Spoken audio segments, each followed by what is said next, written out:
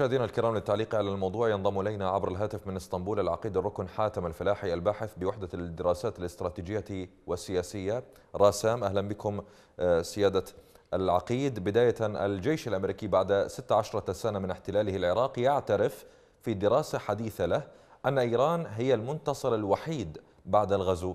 هل كانت أمريكا وقت ذاك تجهل تداعيات الاحتلال على معادلات القوة في المنطقة وأن إيران ستكون الرابحة الأكبر؟ مساء الخير لك ولمشاهدي قناتكم الكريمة. نعم حقيقة بداية دعني أقول بأنه التخادم الأمريكي الإيراني في المنطقة هو ليس وليدة الساعة وإنما كانت هناك تفاهمات أمريكية إيرانية لاحتلال أفغانستان. نعم. ثم بعد ذلك كانت هناك تفاهمات إيرانية أمريكية لغزو العراق.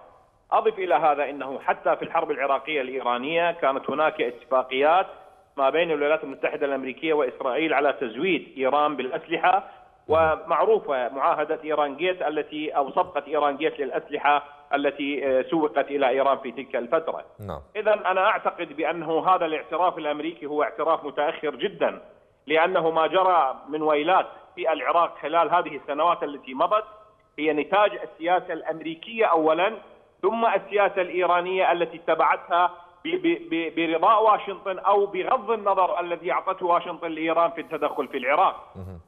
لذلك أنا أعتقد بأنه القضية يعني القضية ليست قضية اعترافات لأن الجيش الأمريكي هي ليس البلد الوحيد عندما كانت في فيتنام أيضا كانت هناك أخطاء كبيرة جدا. نعم.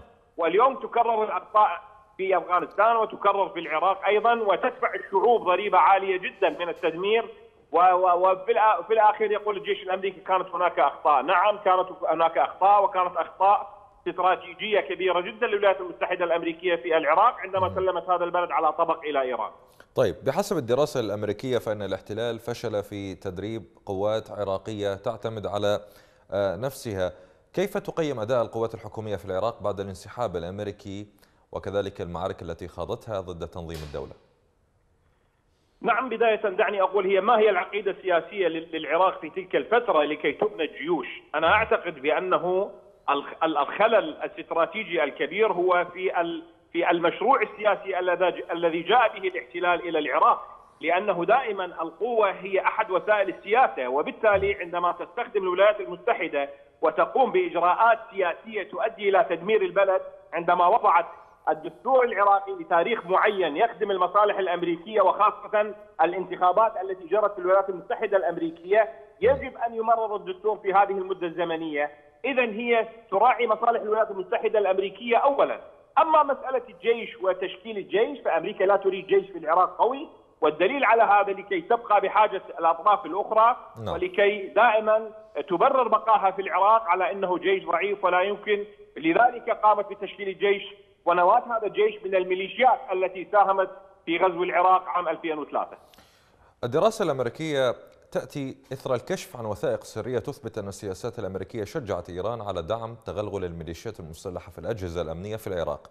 هنا نأتي إلى نقطة كانت يعني حقيقة تطرح دائما وهي طبيعة العلاقة ما بين إيران والولايات المتحدة. هل هل تعتقد أن العلاقة بين واشنطن وطهران هي صراع أم أنها أقرب إلى تعاون لا سيما بعد التنسيق الذي شاهدناه ما بين الميليشيات ميليشيات الحشد تحديدا والتحالف الدولي بقيادة الولايات المتحدة في قضية معركة تنظيم الدولة. لا أكيد.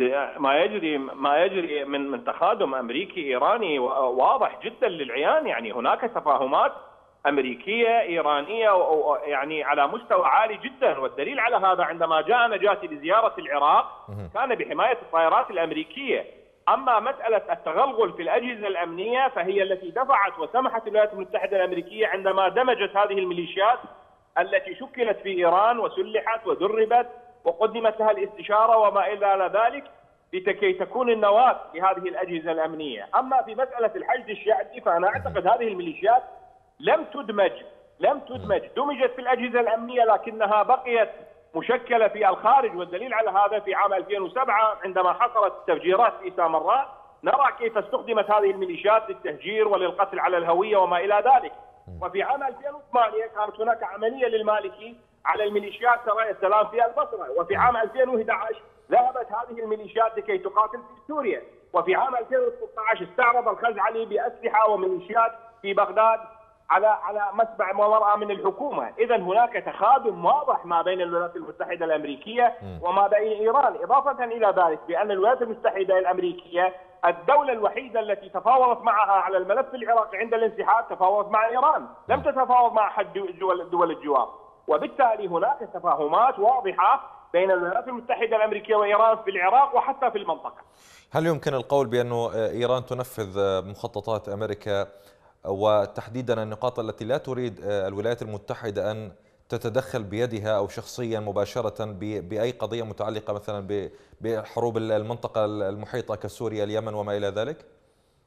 نعم أكيد أكيد. الولايات المتحدة الأمريكية هناك تطابق في المصالح ما بين الولايات المتحدة الأمريكية وما بين إيران في ملفات كثيره سواء كانت في اليمن أو سواء كانت في سوريا، لذلك سمحت لهذه الميليشيات التي دربت في إيران وسمح للحرس الثوري الإيراني أن يتنقل في هذه المناطق لأنه لو كانت الولايات المتحدة الأمريكية ترفض هذا التدخل لاتخذت الإجراءات اللازمة مثل ما تتخذ الآن مع القاعدة في اليمن، نعم. لذلك أنا أعتقد بأن هناك اتفاقات واسعة واتفاقات كثيرة جدا وتطابق في المصالح بشكل كبير جدا، وما يجري الآن من صراع تحتدم يحتدم ما بين الولايات المتحدة هو صراع إعلامي إلى حد بعيد والدليل نعم. على هذا بأنه لحد هذه اللحظة لم تتخذ إجراءات حاسمة من قبل الولايات المتحدة الأمريكية باتجاه إيران.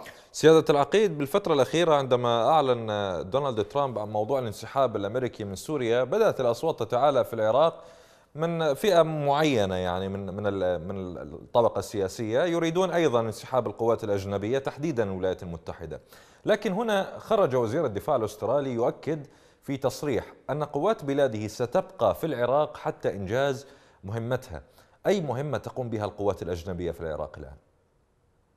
نعم حقيقة الاستراتيجية الأمريكية في العراق منذ عام 2003 وإلى اليوم هي غير واضحة وإنما هناك تخبط أمريكي كبير جدا. والدليل على هذا الدراسة التي أعدت الآن من قبل الجيش الأمريكي والتي تقول بأن الولايات المتحدة ارتكبت أخطاء كبيرة جدا سواء كانت سياسية أو عسكرية ومنها بأنها سلمت البلد إلى إيران. وبالتالي هذه الميليشيات اليوم التي تتكلم كانت تسمي قوات الاحتلال من عام 2003 إلى أن خرجت قوات الاحتلال قوات صديقة وكانت تتعامل معها في جميع المحافظات العراقية وخاصة في الجنوب. وهي من أجلستهم على كرسي الحكم وهي من سلمتهم البلاد. أما اليوم عندما تقاطعت المصالح بدفع من إيران حاولت إيران أن تحرك هذه الميليشيات التي هي عبارة عن أدوات إيرانية شكلت على عين إيران وسلحت ودربت لكي تستخدمها إيران في الدفاع عن مصالحها. وبالتالي نحن نقول بأنه هذه الميليشيات هي تبع لإيران وتنفذ سياسة إيران وقرار المواجهة. مع الولايات المتحدة الأمريكية هو قرار إيراني، أما بالنسبة للجيوش الأجنبية المتواجدة الآن في العراق فأنا أعتقد بأنه الحكومة العراقية التي وقعت الاتفاقية الأمنية تعرف على ماذا وقعت مع القوات الأجنبية وتواجد القوات الأجنبية من ضمن هذا الإطار.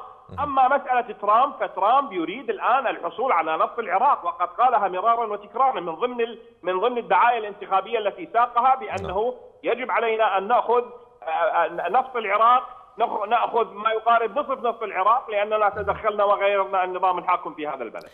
العقيد الركن حاتم الفلاحي الباحث بوحدة الدراسات السياسية والإستراتيجية راسام شكرا جزيلا لك.